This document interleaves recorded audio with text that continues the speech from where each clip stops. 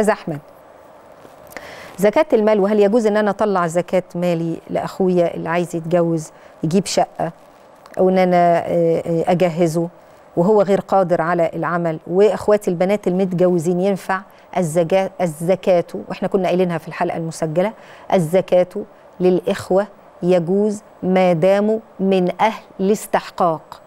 مش بجامل بالزكاة قرايبي إنما لا ده أنا أخويا محتاج فعلا. وأخواتي دولت متزوجات لكن حالهم على قدهم وأنا ربنا موسع عليا. يبقى الصدقة على القريب سواء بقى الصدقة الواجبة أو اللي يتطوع بها الإنسان سنتان. صدقة وصله باخد ثواب الصدقة وباخد ثواب إن أنا بصل لأن أنا واخد بالي منهم.